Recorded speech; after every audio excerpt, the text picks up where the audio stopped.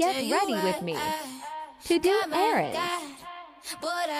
Hello guys! So, una na kong gamiton is ang face serum. Kay, before ito magbutang sa ato ang face o cream, una butangan sa nato ang face serum. And then, next, eye cream para iwas eye bags kay bayaning puyat tayo eh. And then next is day cream. So, gamay ra kong gibutang pero guys, daghan kayo siya, di ba? So, mo ni siya ang cream nga 3 months nimo gamiton. Yes, and ayo taon kalimpi ang inyong liog ug butang kay para pantay ang tanan. And then next, magkilay ta. So, mo na ang pinaka lisod na part ng pantayon ang kilay.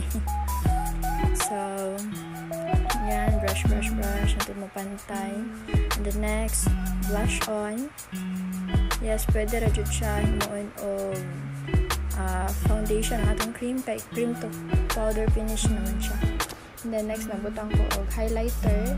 And after na, mag-lip tint ko. And imagine akong pinaka-favorite lip tint kay gamera ka akong gibutang. The result